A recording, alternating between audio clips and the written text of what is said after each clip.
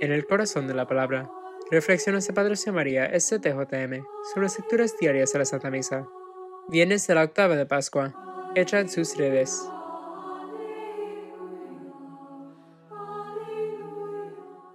Buenos días, querida familia. Hoy en el corazón de la palabra, Jesús se revela nuevamente a sus discípulos en el mar de Tiberíades. Esta es la tercera y última aparición de la resurrección según el Evangelio de San Juan.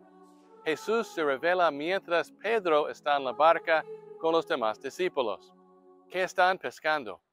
Pasan toda la noche en el lago y no pescan nada. Por la mañana, Jesús está de pie en la orilla y grita a los apóstoles, Muchachos, ¿han pescado algo? Ellos responden, no. Luego Jesús dice, echen la red a la derecha de la barca y encontrarán peces. Cuando lo arrojaron, no podían jalar la red por tantos pescados. Juan, el discípulo amado, reconoce que es Jesús y grita, es el Señor. Hermanos y hermanas, al igual que los apóstoles, después de la revelación de los misterios pascuales, regresamos al mundo que conocemos y la mayoría de nosotros regresamos a nuestros trabajos diarios.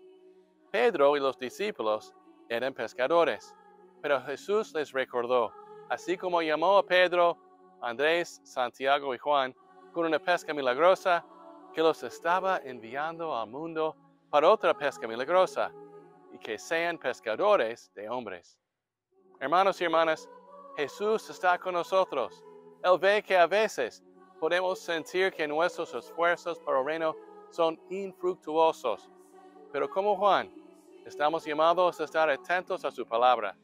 Donde quiera que estemos, exactamente donde estemos, debemos echar las redes al lado derecho de la barca. Hay que obedecer su palabra y compartir quién es Jesús con fe y con sencillez. Tal vez no con explicaciones perfectas, sino con convicción y del corazón. Como predicó Papa Benedicto XVI, no hay nada más hermoso que dejarse sorprender por el Evangelio y compartir con los demás nuestra amistad con Jesús. Aleluya. Escuchemos las palabras de Madre Della. Ha llegado la hora de quienes hemos contemplado, hemos oído, hemos tocado, hemos sido formados en el amor, de lanzarnos con ardor y prontitud adentrarnos en lo profundo, en el océano de la humanidad y de la historia. Todo por el corazón de Jesús, a través del corazón de María. Aleluya.